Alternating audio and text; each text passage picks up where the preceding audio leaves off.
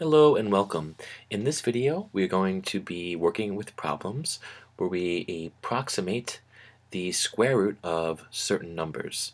So in this problem they ask between what two consecutive integers is the following number. Now consecutive integers, what does that mean? Well consecutive means numbers in a row and integers are positive or negative whole numbers, right, including zero. So some examples of consecutive numbers that are integers would be numbers like 1 and then 2. These two numbers are literally right next to each other and there are no integers between, right? There are no other whole numbers that are positive or negative between 1 and 2, so they're consecutive. Uh, the number negative 3 and then negative 2 are also consecutive integers. And we can go higher, of course. 19, the next consecutive integer would be 20, and then 21 and so forth. So again, consecutive integers just mean sequences of integers uh, where there are no other integers between them. In other words, they're right next to each other. So the square root of 85 is a number that is irrational. In other words, we cannot represent this number as the ratio of two rational numbers, which is a fancy way of saying we can't write this thing as a fraction. We can only represent it with either a decimal that never ends, never has a repeating pattern, um, or we can tell between what two integers this thing lies. How do we do that? Well, let's say you have, let's just go to another example first. Let's say I have the number, uh, the square root of 9, right? The square root of 9 is 3, okay? But what about the square root of 10? What's that number? What does that equal? Well, whatever it equals, it has to be larger than the square root of 9, right? Now the square root of 11 also is larger than the square root of 9, but we can't find that. So let's just hop up to the next perfect square. What do I mean? Well, perfect squares are just numbers that we can simply find the square root of easily. They're square numbers. So for example, the square root of 16 is 4, and the square root of 9 is 3. Those are both perfect squares, numbers who have integer roots, like 3 and 4. So what does this mean? Well, this tells us that the square root of 10, whatever it is, is less than the square root of 16. So the square root of 10, you could say, is less than the square root of 16, and larger than what? The square root of 9, right? So the square root of 10 is between these two perfect squares. If we simplify the square root of 9 and the square root of 16, we get 3 and 4. So we can finally answer this question by saying the square root of 10 is larger than 3 and less than 4. It's between those two consecutive integers. You might also be asked, um, what is the integer closest to it, the square root you're looking at. In this case, um, the square root of 10 is much closer to the number 3 because the number 10 is very close to the number 9. It's closer to 9 than it is to 16. Right? 10 is 6 away from 16, but only 1 away from 1. So it's closer to the square root of 9, which is 3. Here the square root of 85. How would you go about solving this? What would I, what would I do? Well, I, I might just start using integers and squaring them. So for example, I might take the number 5 and square it. I know I get 25, a perfect square, but that's way too small. So I might jump up to 7. 7 squared is 49. Still too small, trying to reach 85. Let's try 9 squared. Well, that's 81. So now we know that um, the square root of 81, right, which is a little bit smaller than the square root of 85, uh, is right below the square root of 85 and is 9. So it tells us the square root of 85, we know is very close to the square root of 81. And the square root of 81 is 9, so we know it's above 9. Then we take our next integer, 10, and square it, and we go way above 85 to 100, right? So that, that means that the square root of 85 is less than the square root of 100. So what this tells us finally is the square root of 85 is larger than the square root of 81, which is 9, and less than the square root of 100, which is 10. And of course, we can find what it's closer to. In this case, the square root of 85 is much closer to the square root of 81. 85 and 81 are only 4 from each other, right? 85 minus 81 is 4. And it's 15 away from 100. So it's much closer to the square root of 81, which is 9, which they might ask. So in question two, we're asked to deal with this expression here, and you might have a, sequences a sequence of square roots and numbers, and we can quickly break these down. Here's how we do it. The square root of 0 is 0, right? What number times itself is 0? Well, 0. And 3 next to the square root sign like this means 3 times the square root of 0. So this just means 3 times 0. Here, the square root of 1 is 1, because 1 times 1 is 1, right? And we have 5 times the square root of 1, so it's 5 times 1. And we're adding these together. Don't forget our addition sign. Plus 2 times the square root of 169 is 13. You want to familiarize with the square roots of 13, 14, 15. Uh, the square root of 13 is 169. Uh, excuse me, the square root of 169 is 13, and the square root of 196, if you reverse these two, instead of 169, if we have the square root of 196, we get 14. And this then the square root of 225, we should know that, it should be automatic, is 15. So here 2 times 13, right, minus 3 times 15. And now we just use our order of operations to compute what's happening here. 0, 5, 26, 45, and then we just add and subtract. 0 plus 5 plus 26 is 31, minus 45.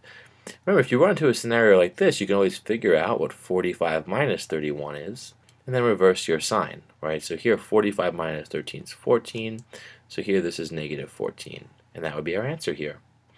In this problem, we're trying to find out between which two consecutive integers uh, the square root of 7 is, right? A, B, C, D, E, and F represent the points on this line, and we're trying to pick the point that best represents the square root of 7.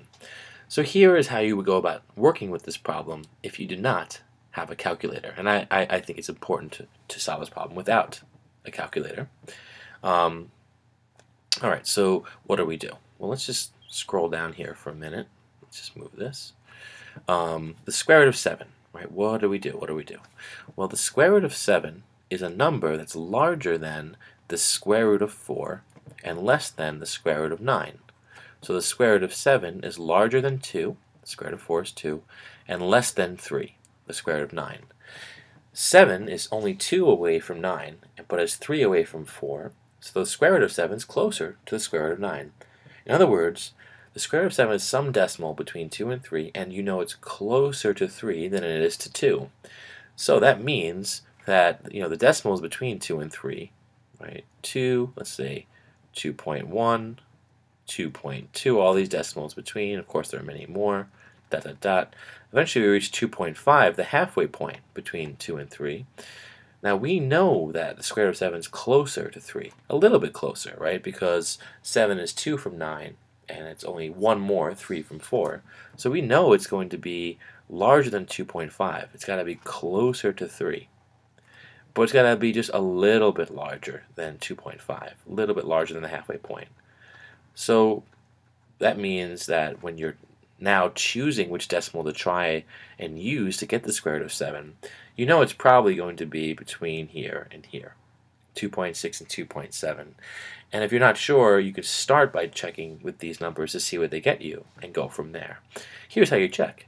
You simply do the multiplication. So if you think 2.6 is the best approximation. Try that first. And just multiply. 6 times 6 is 36. I carry the 3. 6 times 2 is 12, plus 3 is 15. Now I'll put a 0 here as a placeholder. 2 times 6 is 12, right? Carry the 1. 2 times 2 is 4, plus 1 is 5. Add these up.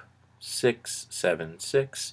We move our decimal twice because this is really 2 tenths here, or hundredths and we get 6.76. So that tells me that 2.6 squared is 6.76. So we're trying to reach 7, so this is too small. So now we try 2.7, right? So we know it's between 2.6 and 2.7. Let's try this. 7 times 7 is 49.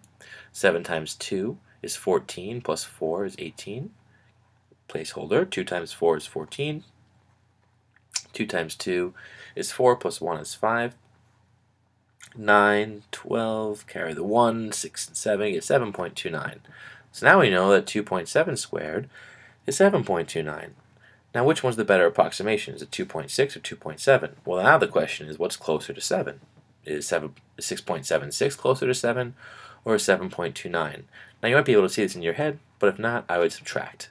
So um, we can look at the uh, subtraction of 7, the number we're looking at, 7.00, minus 6.76, and then we can look at 7.29 minus 7. Notice how I put 7 in different places. I'm setting up my subtraction to always get a positive result.